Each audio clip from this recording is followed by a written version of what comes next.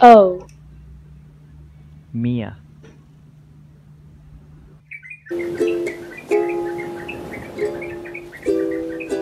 Mia loves plants, especially cactus.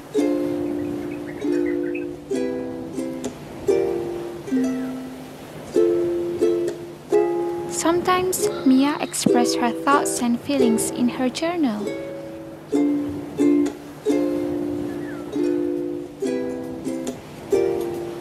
Mia loves going grocery shopping.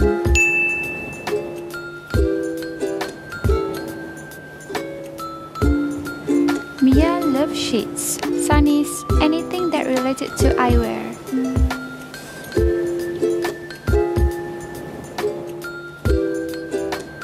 Mia loves watching The Good Doctor on her laptop.